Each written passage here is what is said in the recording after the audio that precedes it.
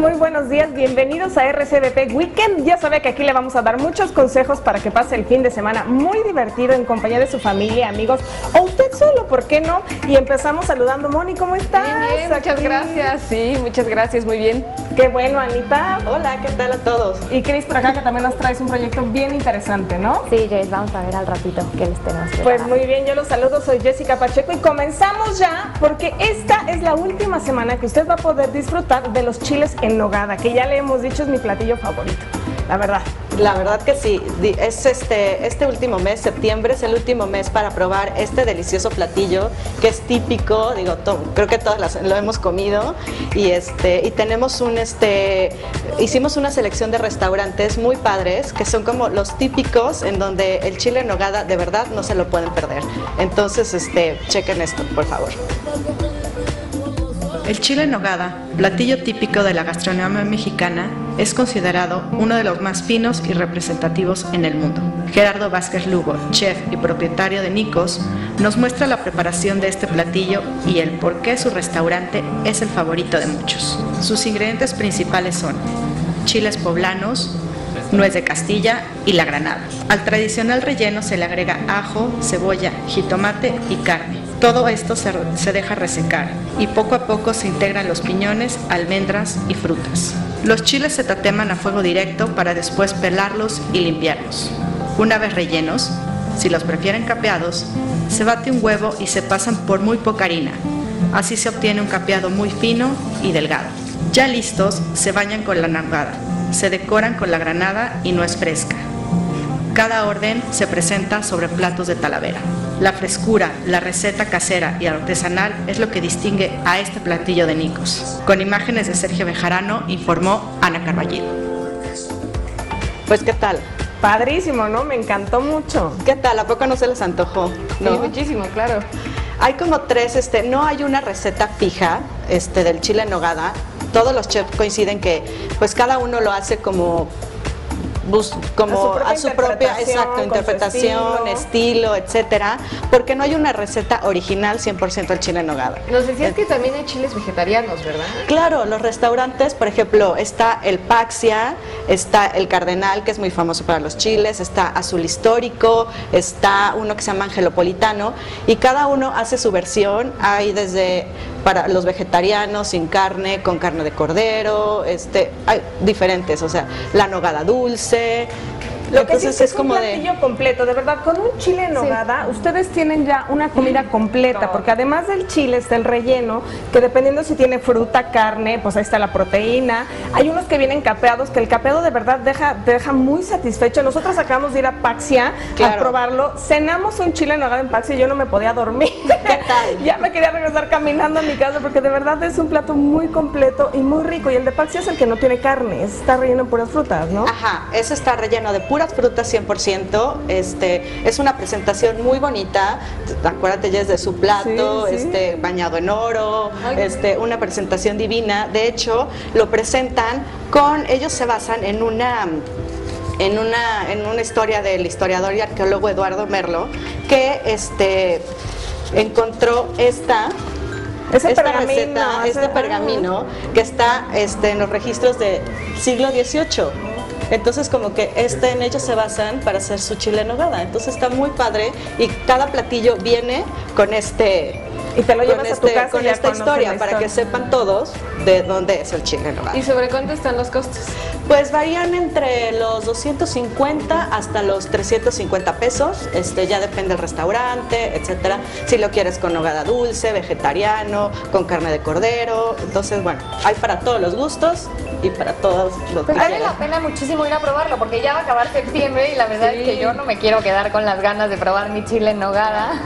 Claro. Buenísimo, pues seguramente vamos a ir otra vez para probar otros diferentes estilos y esa es una propuesta gastronómica. Si usted quiere pasar un fin de semana delicioso, pues aquí está la opción.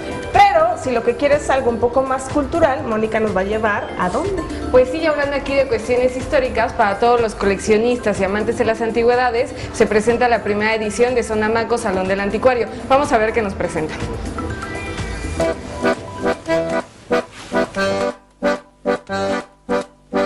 Sonamaco abre su más reciente proyecto, Salón del Anticuario. Aquí se exponen piezas antiguas y excentricidades. Platicamos con Célica García, directora del salón. Bueno, decidimos hacer Sonamaco Salón del Anticuario, ya que vimos una necesidad del mercado de, de antigüedades en promover las antigüedades y también en dar un foro y un espacio de exhibición a los anticuarios ahorita mexicanos, a futuro a nivel internacional que no tenían como un, lugar, una plataforma en donde exhibir y vender. Hay objetos de muchas diferentes épocas y de muchos países. Tenemos, hay muebles, hay lámparas, hay esculturas, hay pintura, eh, espejos, decoración, hay objetos, eh, talavera, plata. De acuerdo a sus intereses, cada anticuario muestra sus más valiosos objetos. Veamos algunos. Es una silla palanquín el siglo XVIII, las utilizaban en aquella época para transportar cortesanas. Eh, es una pieza muy interesante, rara, porque ya no las podemos encontrar, es una pieza casi de museo, viene de Europa. Y bueno, lo que podemos ver en la pieza es que tiene los retratos de las damas de la corte, que era lo que se, lo que se utilizaba, y bueno, el escudo de la, de la familia, y bueno, en general llevaba un par de travesaños donde, donde ven las piezas, y cuatro pajes eh, cargaban a la persona que iba dentro de la silla palanquín. Tenemos aquí unos documentos de Diego Rivera, este, principalmente son sus calificaciones cuando estudiaban Bellas Artes. Y entre esas calificaciones de 1901 más o menos, y bueno, pues todas eran muy buenas, desde niño ya se le veía ahí la capacidad que tenía. Tenemos también este, unos documentos del cementerio donde enterraron a su hijo. Tuvo un niño que, que de bebé se murió con su, esposa Angelina. Con imágenes de Gustavo Gres, informó Mónica Vázquez. Este fin de semana se presenta Sonamaco Salón del Anticuario en el centro Banamex, en la sala D, en el piso 2. Cuesta 100 pesos, es por día. El día sábado se va a presentar además una plática sobre antigüedades para todos aquellos que quieran como saber qué es una antigüedad, cómo reconocer si es de verdad una antigüedad o si nada más nos están vendiendo algo que parece antiguo y que le están adjudicando a alguien más. En, e, este sábado se va a poder enterar y se va a poder como profundizar más en el tema.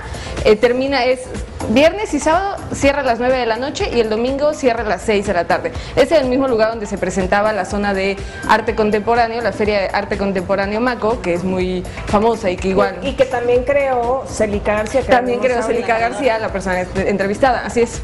¿Y qué, si tú vas, qué es lo que vas a poder hacer? O sea, ver, comprar. Ver, comprar principalmente lo que ellos quieren, pero pues si te gusta mucho la historia o si te gusta mucho el arte, es un muy buen lugar porque se traen objetos que en algunos museos de México no se pueden encontrar. Solo, por ejemplo, como en Franz Mayer, que era este gran coleccionista, que era también banquero y que tuvo una colección de muchas piezas de distintas cosas, desde talaveras, muebles, vajillas, eh, cuestiones religiosas, se pueden encontrar aquí también en, en el Salón del Anticuario. En México no, apenas está comenzando, eh, comenzando el auge, pero por ejemplo podemos ver estos programas de televisión en que están valuadores ah, y van peritos y eh, sobre objetos de la historia, ¿no? Y nos platican del valor de la historia. Es algo que viene de Europa, después pasó a Estados Unidos y está llegando a México. Pues para toda la gente que le gusta coleccionar o decorar su casa de una forma muy específica, porque son objetos que se deben de poner como una decoración central. Entonces, pues para todo ese público es perfecto. Claro, ¿no? Y me imagino que hay precios de todo, ¿no? Desde, o sea... La mayoría es caro. La verdad es que, por ejemplo, hay una cama china muy, muy linda, que está sobre 100 mil dólares, o la colección de Rivera también trae unos 40 mil. Pero, pues yo me acerqué como a los pequeños marfiles, pero me decían, bueno, este es un marfil de elefante y este es un, marfil de un mamut. Entonces, el hecho de que sea un mamut ya lo eleva muchísimo de precio, aunque sea una cosita de este tamaño. Pero, sobre todo para ver y acercarte a este, a este tipo de antigüedades que sí hay en México, pero estas son traídas de Europa. Yo creo que son opciones que aunque no tengas los 100 mil dólares para comprarte una cama china, sí puedes acercarte a la historia. Es un paseo muy rico porque además van a estar los anticuarios explicándote el origen de cada pieza, de dónde viene. No tienes que comprarle, por, por ver no se paga. ¿no? Este, sí, es, la primera vez que se presenta en México este Salón del Anticuario y la verdad es que vale mucho la pena que vayamos a ver qué mucho. Yo sí me voy a dar una vuelta porque si son amacues de gran calidad, ya me imagino que esta feria también va a estar espectacular. Y pues usted des una vuelta y ya después nos platica cómo le pareció y si seguimos por ese lado. Ahorita vamos a hacer un corte muy rápido, pero antes de eso le quiero avisar que ya está a punto, ahora sí, de realizarse uno de los torneos de golf más importantes de la temporada. KPMG Excelsior Invitational tendrá lugar el próximo jueves 2 de octubre. Así es que no se lo pierda, aquí le vamos a tener todo el detalle de lo sucedido. Vamos a hacer una pequeña pausa y regresamos.